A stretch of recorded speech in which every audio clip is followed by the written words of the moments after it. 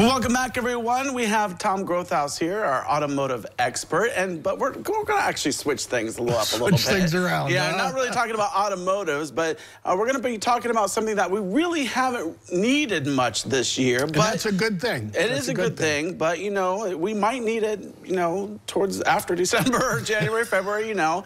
Weather is crazy. We're going to be talking about snowblowers.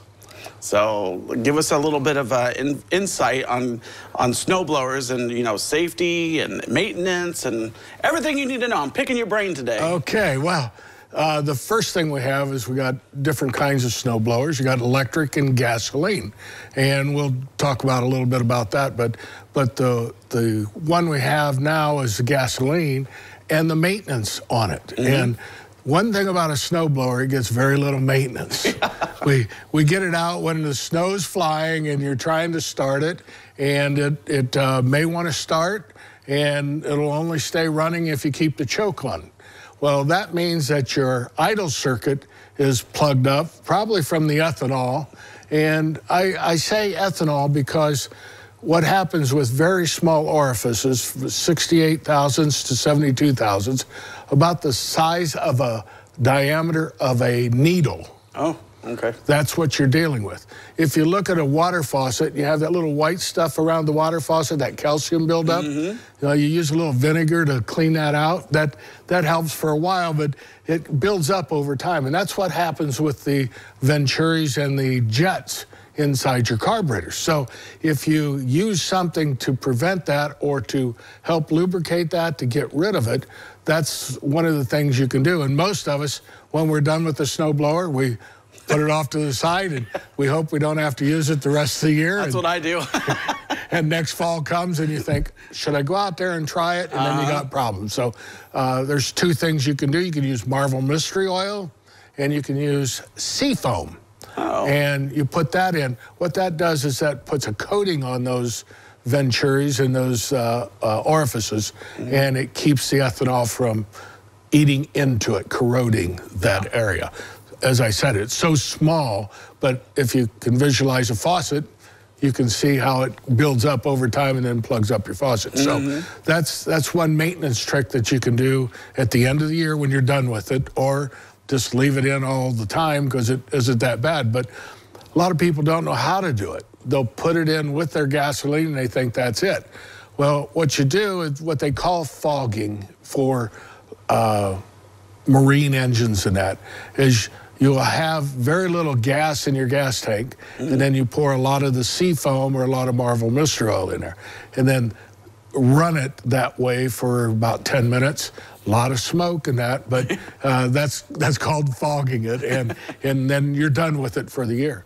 The best thing is to take out as much gas as you've got. Now, years ago, we used to have the gas tanks where you would shut them off and you could drain the Yep. bowl.